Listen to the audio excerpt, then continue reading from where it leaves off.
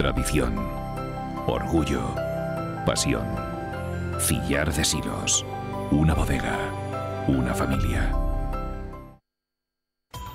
Desde este jueves el candidato del Partido Popular a la presidencia de la Junta ya solo tiene ese reto por delante. Alfonso Fernández Mañueco ha dejado de ser alcalde de Salamanca y se centra en una precampaña autonómica que se presenta muy intensa. El PSOE y su candidato a presidir el Ejecutivo Regional, Luis Tudanca, también se pone la tarea con una escuela de gobierno que celebran este fin de semana en Salamanca. La política ha dejado de ser cosa de dos actores y ya nada se puede dar por seguro. Un escenario apasionante que nos obliga a estar abiertos y atentos a cualquier sorpresa. Bienvenidos.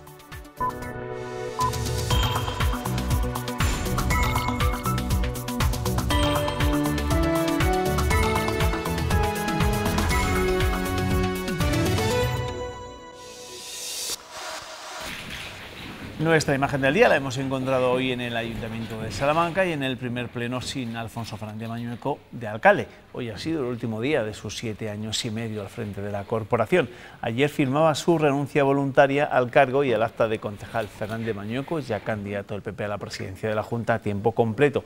Y su agenda va ahora por recorrer los 2.248 municipios de la comunidad. Dice que ese es su objetivo y que ya ha recorrido 10.000 kilómetros.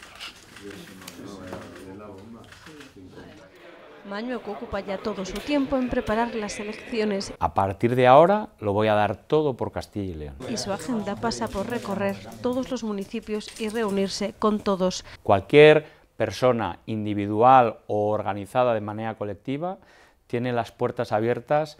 Quiere trasladar un mensaje de futuro en el que ofrece una Castilla y León mejor bajo la premisa autonómica. Las autonomías, la autonomía de Castilla y León ha sido fundamental para que las personas de nuestra tierra vivan mejor. No solo las, de las del mundo urbano, sino especialmente las del mundo rural. Defiende la autonomía y niega que el PP quiera recentralizar competencias y sí fortalecer los instrumentos de control del Estado. Es bueno para las chicas y chicos de Castilla y León que haya una prueba única de acceso a la Universidad Española. Eso no es recentralizar, eso es defender la igualdad. Lo fundamental no es que haya más o menos competencias en una comunidad autónoma o no. Lo importante es defender la unidad de España, lo importante es defender la fortaleza de España. Asegura que el resultado de las elecciones andaluzas y la irrupción de Vox no ha influido en que este sea el momento de dejar la alcaldía. Dice que desde octubre estaba previsto y que esa convocatoria electoral solo retrasó la agenda. Luego vamos a hablar mucho de pre-campaña, porque tenemos que entrevistar a la secretaria de organización del Partido Socialista y también con nuestros tertulianos, como no, hablaremos de los meses que se nos avecinan. Las Cortes han aprobado esta tarde por un amplio consenso la primera ley de transporte de viajeros por carretera de la comunidad. La norma implanta un nuevo modelo de negocio para los empresarios del sector que se ajusta a las exigencias de Europa y recoge el servicio de transporte a la demanda. El consejero de Fomento la ha defendido como una ley que iguala a los ciudadanos del medio urbano y del medio rural. La primera ley de transporte de viajeros por carretera de Castilla y León es ya realidad. No nos valía el marco de normativo europeo y nacional. Necesitamos un marco autonómico específico. Un marco acorde con las peculiaridades de nuestra comunidad, que es lo que defiende la Junta, se ha conseguido ahora, porque además de adaptarse a los nuevos tiempos... Garantizamos la accesibilidad universal del transporte público en todo el territorio de Castilla y León, donde haya un asentamiento fijo de población. La nueva ley en la que se ha tenido en cuenta todo el sector nace en medio del consenso político.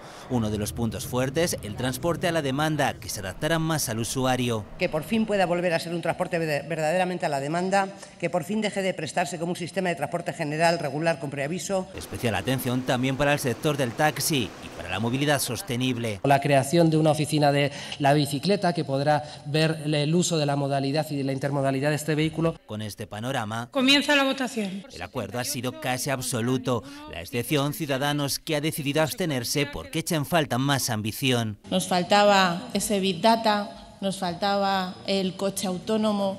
El propio presidente de la Junta ha querido compartir con el sector la importancia de esta ley. Su primer gran reto, el desarrollo de un nuevo mapa con todas las concesiones del transporte en Castilla y León, porque el actual, por imperativo europeo, caduca en diciembre del próximo año. En ese mismo pleno se ha elegido al sustituto de Óscar López en el Senado. El político socialista ahora es el director de Paradores y su puesto de senador autonómico llevaba vacante desde hace cinco meses. Hoy las Cortes de Castilla y León han designado a Antidio Fagúndez, del alcalde de Zamora, en sustitución del segoviano. También se ha renovado el Consejo Consultivo y de Cuentas con los votos de PP y PSOE. Agustín Sánchez y Mario Amilivia presidirán ambas instituciones respectivamente, con el propósito de acercarse más a la sociedad. que intentaremos hacer el trabajo lo mejor posible, continuando una labor que hasta este momento pues, ha sido magnífica. Intentar también trasladar algo que he hecho en el Consejo Consultivo, que es la, formación permanente. O sea, nosotros hemos, durante estos años, acometido con las diputaciones provinciales, con las Cortes de Castilla y León, permanentes jornadas de formación en contratación pública, en responsabilidad patrimonial. Una gran plataforma para trabajar en, favor de esta tierra que tanto lo necesita y que, tanto espero que lo agradezca y, y también por los tamoranos. Este periodo de sesiones termina la semana que viene con el último pleno del año. Antes, el viernes y el sábado, el PSOE regional va a poner las bases de su programa electoral en la Escuela de Gobierno que celebran en Salamanca. Y esa ha sido la excusa para invitar a la secretaria de Organización del PSOE de Castilla y León esta noche en nuestro tiempo de entrevista. Ana Sánchez, ¿qué tal? Bienvenida, muy buenas noches. Buenas noches. Ya me dirán, ¿de qué van a hablar en esa escuela de gobierno? Pues vamos a hablar de las cuestiones que preocupan a los castellanos y leoneses. De la Castilla y León del siglo XXI. De la Castilla y León de presente y de futuro, porque eh, se trata de que el programa de gobierno que los socialistas estamos eh, elaborando y trabajando desde hace muchos meses ya, eh, sea algo que, del lo que nos sintamos copartícipes, sólido, un proyecto de presente y de futuro. Se trata de devolver a Castilla y León a la prioridad, se trata de que Castilla y León vuelva a ser tierra de oportunidades, que vuelva a formar parte del proyecto global de nuestro país, porque desgraciadamente eh, los eh, últimos gobiernos del Partido Popular nos han situado a la cola no solo de todos los eh, indicadores socioeconómicos, sino también eh, nos han quitado el peso específico que políticamente hablando nuestra comunidad tenía o tuvo en algún momento en el proyecto global de nuestro país, de España. Van a tirar ustedes la casa por la ventana, ¿no? Porque han confirmado la presencia de varios primeras espadas del Partido Socialista, ¿no?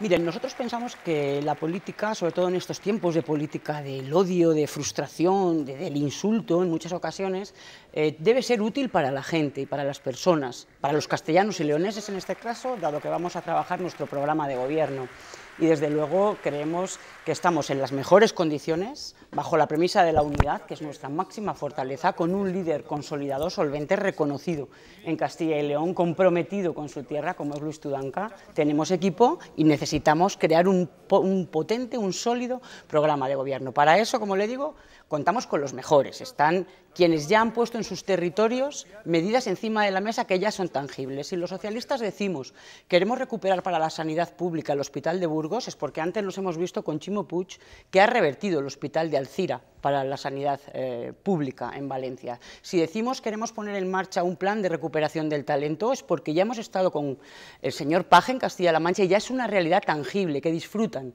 eh, vecinos de Castilla-La Mancha. Por tanto, no vamos a entrar en esa especie de ofertones electorales que hace el Partido Popular instalado en esa vieja política, sino que queremos con los mejores crear realidades tangibles con las que acercarnos a los castellanos y leoneses. Y lo vamos a hacer con socialistas, pero, como le digo, estamos unidos, del primer al último de los socialistas está detrás de Luis Tudanca y para ganar elecciones, que es a lo que salimos los socialistas el próximo mes de mayo en Castilla y León, necesitamos ampliar todo ese espectro a la sociedad eh, de Castilla y León y nos acompañarán también, y con esto finalizo, eh, personalidades muy representativas de, su ámbito. Estarán con nosotros plataformas en defensa de la sanidad, estarán, por ejemplo, en lo que tiene que ver con educación, el rector y el vicerrector de la Universidad de Salamanca, quienes yo les agradezco especialmente su participación en la misma.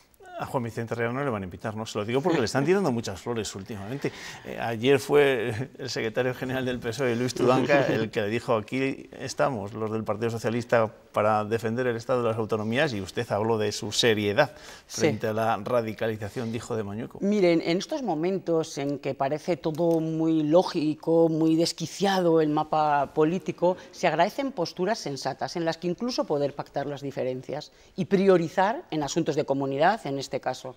Bueno, el señor Herrera nos nuestras diferencias ideológicas son abismales. Su dejación y su proyecto agotado en un fin de ciclo decadente le ha hecho mucho daño a esta comunidad autónoma. Pero, hombre, en 17 años uno también tiene algo de legado y a nosotros nos gusta ser honestos. Probablemente buena parte del legado del señor Herrera sea esa defensa del autonomismo útil, que sí ha sido útil y el propio señor Herrera, ante declaraciones del presunto sucesor, señor Mañueco, del señor Casado, diciendo que apuestan por una recentralización de las competencias, alertaba y decía, ojo, porque detrás de esas ideas radicales de devolver esas competencias al Estado puede estarse poniendo en cuestión el propio estado del bienestar.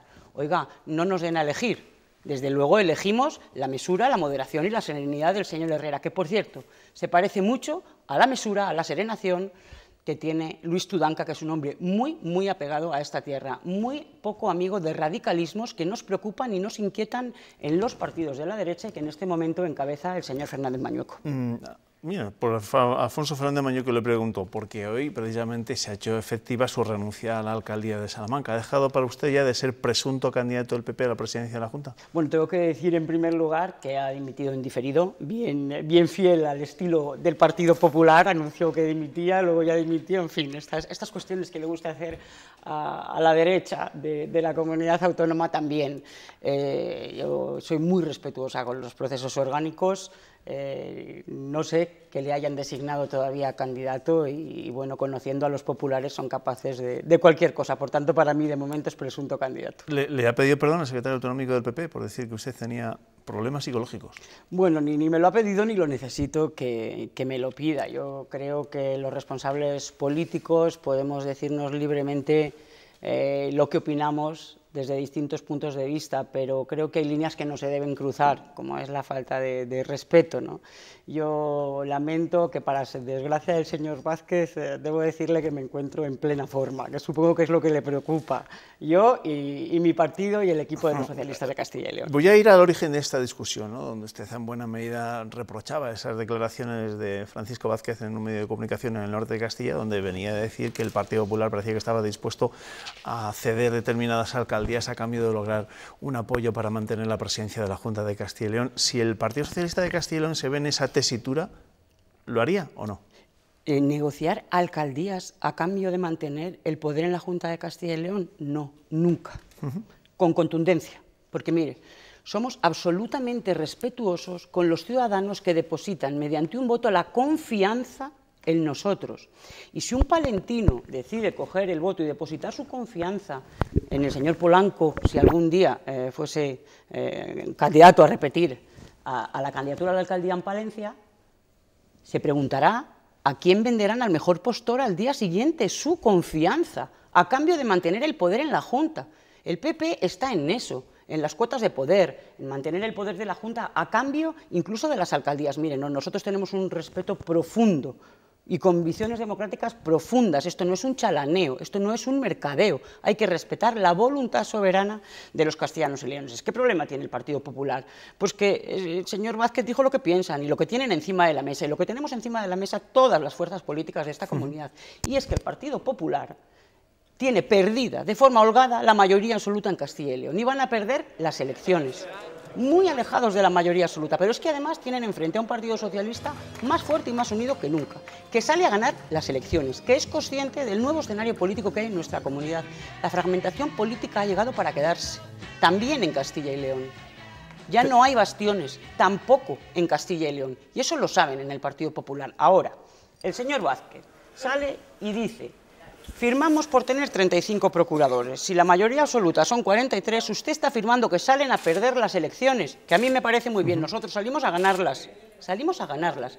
Pero si no hubiese mayorías, le aseguro que los elementos de negociación serán sobre proyectos, sobre las preocupaciones de nuestros vecinos, sus problemas. Nunca jamás un chalaneo de cambios de puestos ni de, ni de nombramientos como el que proponía el señor Vázquez. Eh, a partir del año que Lamento que le hayan mandado rectificar y me tenga que insultar a mí para... No, no, no, solo una duda. A partir del año que viene la mayoría absoluta va a ser inferior, ¿no? No hay menos procuradores, ¿verdad? Correcto. Lamentablemente, y, bajo la única responsabilidad del Partido Popular en Castilla y León, eh, en las próximas elecciones de salida elegimos tres procuradores menos. Tres menos, eso es. Debido a la pérdida de, población y por tanto eh, la mayoría absoluta estará, si no me equivoco, en, 41. 41 en 41. Dicho esto, eh, el Partido Popular va a quedar muy lejos, muy lejos de esos 41. Eh, después de lo visto en Andalucía, sin embargo, ¿no ha aumentado la preocupación en el Partido Socialista? No, mire, Puede perder un feudo histórico. son dos escenarios muy distintos. Yo tengo que decirle eh, que aún habiendo ganado las elecciones no es un buen resultado para los socialistas. A mí me gusta ser muy, honestas. Para nosotros Andalucía además es un lugar emblemático, es eh, especial, tiene muchas connotaciones para los socialistas españoles. A partir de ahí, extrapolar a Castilla y León pues no lo veo no lo veo excesivamente extrapolable, salvo, mira, yo veía al señor Maroto hoy en una entrevista del Partido Popular que, decía y justificaba su acuerdo con la extrema derecha de Vox, que, parece que pueden materializar en los próximos días, diciendo que en aquellos sitios donde ha habido un régimen eh, de casi 40 años hay que obligatoriamente pactar con quien sea para formar gobierno. Y le preguntaban, pero eso en otras comunidades autónomas donde ustedes gobiernan también hay regímenes. Ah, como le decía antes, nosotros respetamos profundamente las normas de la democracia y somos conscientes de que vivimos una democracia parlamentaria y representativa. Ahora, bajo la opinión del señor Maroto, que hay un régimen que hay que cambiar. Y si algo extrapolamos es que los vientos de cambio también llegan a Castilla y León y quienes aquí llevan más de 30 años gobernando es el Partido Popular. Y aquí también llega la fragmentación política. Y los ciudadanos en Castilla y León han perdido la resignación. Es el momento de cambiar las cosas. Dice usted que Castilla y León no es Andalucía, pero hay quien achacaba, y algunos dirigentes también de su propio partido, del Partido Socialista, de hecho, la diputada vallesoltana Soraya Rodríguez venía a decir que en buena medida la culpa de los resultados del PSOE en Andalucía la tiene Pedro Sánchez y sus pactos con los independentistas. Y claro, eso también puede influir en Castilla y León. Mire, yo creo que Soraya Rodríguez manifiesta una opinión personal y estrictamente personal suya porque además todo el mundo sabe que tampoco... Pero no se puede votar aquí también en clave nacional, por así decirlo. Le, contesto primero a la pregunta. Soraya Rodríguez, que además sabe que, sus postulamientos y sus, opiniones estrictamente personales no son muy representativas de aquellos a, los que en primera instancia representa, que es a sus compañeros en Valladolid. Y por tanto es una opinión personal y respetable, pero no es la opinión que nosotros desde luego tenemos y que creo que hoy el presidente del Gobierno ha dejado suficientemente claro eh, la firmeza, la determinación del Gobierno de España. Nosotros no firmamos acuerdos con los independentistas. En el Congreso de los Diputados hubo una moción de censura, donde se censuraba a un presidente cuyo partido había sido condenado por corrupción. Y cada parlamentario votó en conciencia lo que quiso. Por cierto, el señor Rivera apoyaba al señor Rajoy ¿eh? en aquel gobierno. No es lo mismo una moción de censura que acuerdos de gobierno. Acuerdos de gobierno va a hacer la derecha con la extrema derecha en Andalucía, por lo que parece.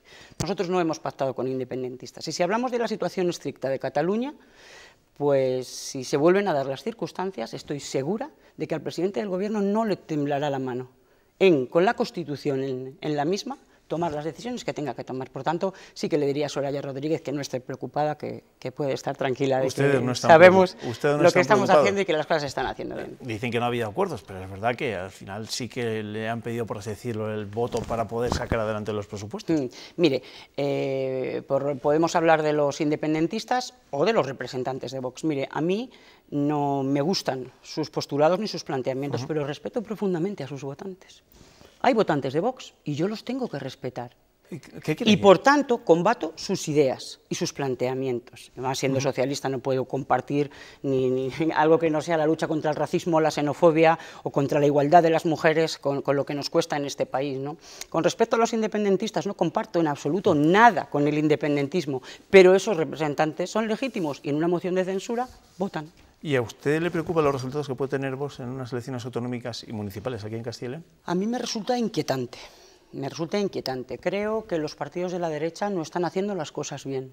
Porque si los partidos de la derecha no estuvieran yéndose hacia posturas tan radicalizadas, yo creo que Vox no estaría ahí. Miren, eh, yo tengo la percepción de que a Vox no le hace falta ni hacer declaraciones, ni mítines, ni actos de campaña, que ya el señor Casado y el señor Rivera le hacen la campaña electoral. Y por tanto creo que la derecha tendría que hacer un ejercicio de reflexión de por qué está creciendo la extrema derecha en nuestro país. Estoy segura de que en Castilla y León probablemente esté sucediendo también porque no somos ajenos a la realidad de nuestro país. A mí me preocupa y me inquieta como mujer y como ciudadana comprometida en la defensa de ciertos valores Hombre, de convivencia. En Andalucía también se le hizo en parte Susana Díaz, ¿no? Cuando habló de Vox, precisamente, cuando Eh, yo desde luego no, no, lo comparto en absoluto. Saben que a, a, los políticos, eh, a los que estamos además en la organización, nos gusta hacer análisis eh, sosegados de, uh -huh. de, por qué eh, se han producido las votaciones y creo que, que la pérdida de votos está en nuestro debe, que también nos debemos una reflexión de por qué muchos socialistas se quedaron en casa, que tenemos que trabajar eh, sobre eso y, y, seguir en los problemas cotidianos de la gente. Los políticos tenemos que ser útiles para nuestros vecinos, que es a lo que nos dedicamos en Castilla y León, y lo conseguimos, fíjese. En los últimos plenos de las Cortes, desde la oposición, hemos conseguido obligar y consensuar con todos los grupos la bajada de tasas universitarias, que haya unidades de ictus en todas las provincias. Lamento que hay días como hoy en los que no hayamos conseguido ese consenso para aprobar un plan de dinamización en Zamora, pero si en la oposición somos útiles, los castellanos ya. y leoneses tienen que saber que en el gobierno mucho más. Quedan eh, seis meses, menos de seis meses para las elecciones autonómicas y municipales, y usted como secretario de organización imagino que será la que les tiene que poner tarea a todos los candidatos. Les va a tener firmes, ¿no? Bueno, yo creo que ya me conoce. que saben o sea, va a ser una campaña dura, una pre-campaña y una metódica. campaña dura. Los socialistas llevamos trabajando mucho tiempo. Yo creo que la nueva política ¿no? y el nuevo escenario político hace que las campañas electorales sirvan ya para poco. ¿Sí? Es una realidad muy superada por los ciudadanos y nosotros hemos tenido que ir tomando nota. ¿no? Cuando veo al señor Mañueco, presunto candidato, eh, haciendo promesas electorales de, de, imposible cumplimiento o incumplidas en décadas por el Partido Popular en Castilla y León, que ahora va a hacer él en dos días, me pregunto si no se ha enterado de nada de lo que nos ha dicho la gente. Ya no quieren eso, no les sirven. Los socialistas de Castilla y León llevamos mucho tiempo trabajando comprometidos con esta tierra, en situaciones difíciles. Luis Tudanca ha pateado del primero al último de los municipios de Castilla y León, y eso lo saben los castellanos y leoneses. Conoce su realidad, conoce sus problemas, cree tener un buen equipo y un buen programa de gobierno para buscar soluciones juntos. Y por tanto, creo que, que esa distinción está encima de la mesa. Los socialistas de Castilla y León estamos preparados para gobernar Castilla y León. Ana Sánchez, secretaria de Organización del Partido Socialista en León, gracias por acompañarnos esta noche. Además, en, después de dos jornadas intensas, los plenos últimamente de las Cortes están siendo, vamos, pero... Intensos, intensos. Hay vida, hay vida política en Castilla y León. Gracias, Ana. Muchas gracias a ustedes. Hacemos una pequeña pausa para la publicidad, enseguida volvemos con nuestros tertulianos. Hasta ahora.